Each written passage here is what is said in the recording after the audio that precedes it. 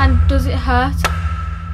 She bit my chest, my skin on my chest, and pinched bad. it. And I went, Shelby, get off! You're gonna go through. I genuinely thought she was gonna go directly through my skin, and her beak was going to meet itself. They can, they do, and they will. Do macaws bite and does it hurt?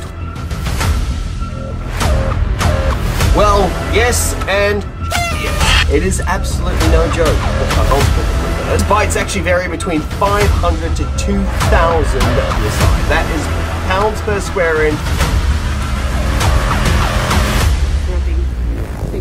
Both times I've been wearing gloves, so I'm assuming she doesn't realise my fingers are the gloves. Have I been bitten for quick and easy one? Yes, I have. And does it hurt? Well, absolutely.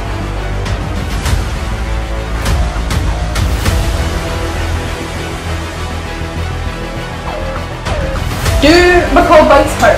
Imagine your hand or finger or whatever the bird bites getting trapped in a fire door in slow motion and you can't get out of it.